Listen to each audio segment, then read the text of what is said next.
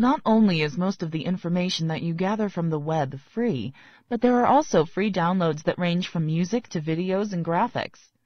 Downloading is one of the most popular features of the web.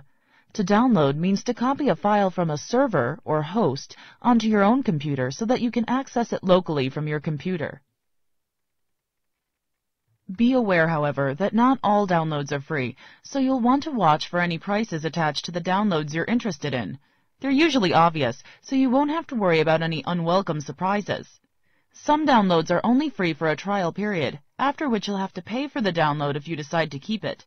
In addition, it's always a good idea to scan downloaded files for viruses before opening them.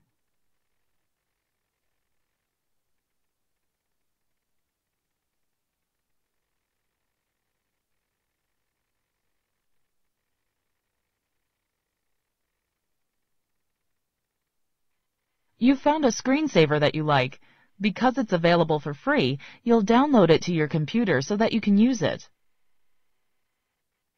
Here we are at a Microsoft web page that contains a screensaver we want to download.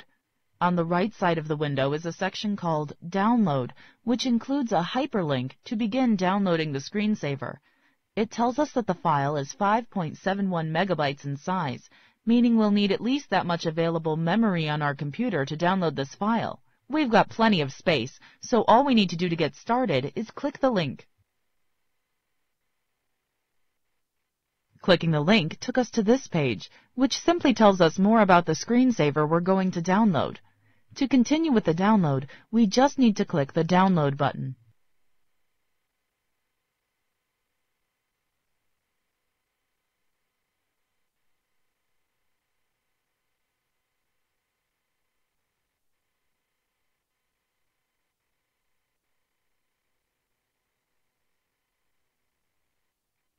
Whenever you download a file, you'll be given the option to either run it or save it to your computer. Selecting to run the file automatically opens it and saves it to your computer's temp directory. However, we want to save the file to our computer. The Save As dialog box opened. From here, we can name our file and tell our computer where to save the file to. We want to save the file to our desktop, which we're already at, so let's go ahead and specify the name we want to give our file. The default name is already highlighted in the file name text box, so we can just type the new name.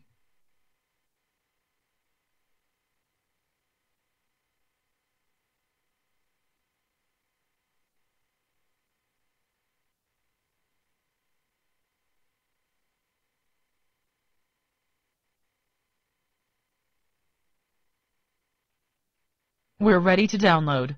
Once we click the Save button, we'll do just that. This dialog box lets us know our download is complete. We can check to make sure everything went smoothly by clicking the Close button and then revealing the desktop to see the downloaded file. We're back at the browser window, which we can see acknowledges that the download was successful. Let's minimize this window so we can see the file, which should be on our desktop. There's our downloaded file on our desktop. Keep in mind, we haven't actually installed the screensaver. We've only downloaded the exe file that will install the screensaver when the file is run. To run the file and install the screensaver, you would just need to double-click the file.